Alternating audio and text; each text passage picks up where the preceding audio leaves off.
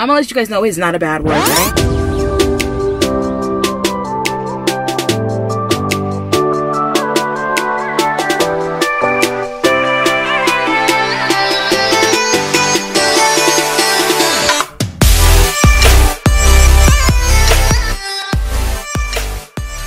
What is up, y'all? My name is Patricia. Thank you so much for joining me today. If this is the first time you've ever tuned in to one of my videos, Thank you for joining me. I'd love it if you'd subscribe to my channel. I'm trying to find a better angle so that this bright light is not shining into this car.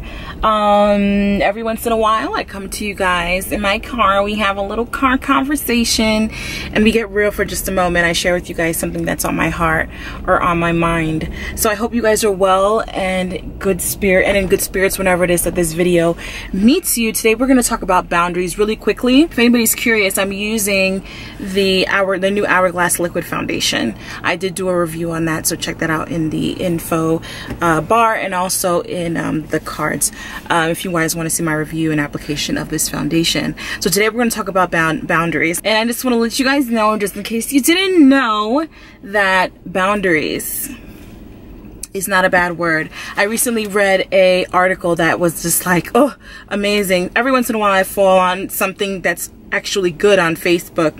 And it is an article that was written by uh, Shellie R. Warren. And it's uh, the title of the article is Why You Should Be Unapologetic About Setting Boundaries with Toxic Family Members. And that thing just stood out to me. Oh, it just stood out to me and resonated with me in a very, very, very, very special way. Read the entire article. I will try to find it and link it down below. And in this article, Shellie said boundaries is not a dirty word. It's not a bad word. It is not a curse word. Well, I think she specifically said it's not a bad word, but I'm, I'm at, you know, I'm putting 20s on 10s, okay? I'm gonna let you guys know it's not a bad word. It's not a dirty word. And you know how we like to say in dating that you treat you you teach people how to treat you.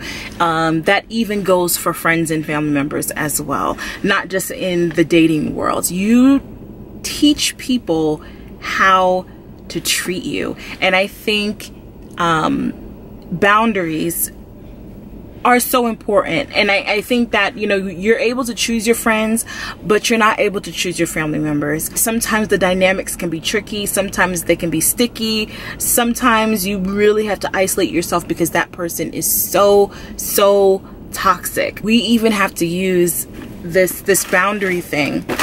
Um sorry y'all. I need to find some lip gloss to put on these lips because it's what something dry. This is the buxom buxom something or other. I'm about to put it on my lips. We have to utilize boundaries even within our close, um, even with the, within our family. Um, I have friends that have you know, poor relationships with a father or poor relationships with um, a mother and they have literally had to put up boundaries with this person so that they are able to protect their peace. Some of us may not have toxic, toxic relationships with our family members. However, we are now growing into our womanhood and our manhood and our adulthood and um, we are creating uh, new life for ourselves outside of i'm talking specifically about um, parents and aunts and uncles and grandparents whoever it is that raised you.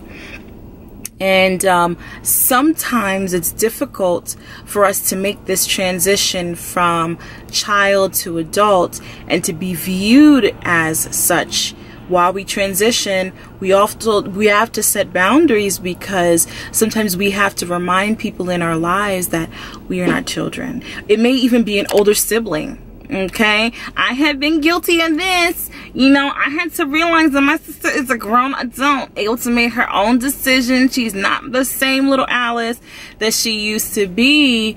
I have to respect her as an adult. She grown. She a grown married woman. She grown. So i have to respect her as an adult and that may be a difficult transition And in this transition, you have to teach people where the lines are. It's not a bad word, but specifically if they're toxic, you really need to know you can't do this. No, you can't show up to my house wherever you want. Yes, you do have to call before you show up here. Or no, you can't speak to me that way. I'm not a child.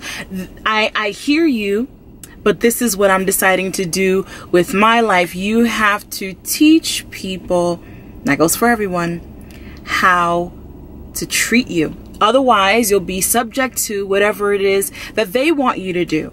You'll be subject to their expectations. You'll be subject to their toxicity because you have not taken you haven't taken ownership of your own life. But today I want to tell you guys that boundaries not a bad word. So set them up in your life. Teach people in your life how to treat you. That's it. That's the message for today. Thank you guys so much for joining um, and for watching. Let me know all your thoughts and comments down below as you guys usually do. I love you guys so much and I will see you guys soon in another video. And as always, God bless.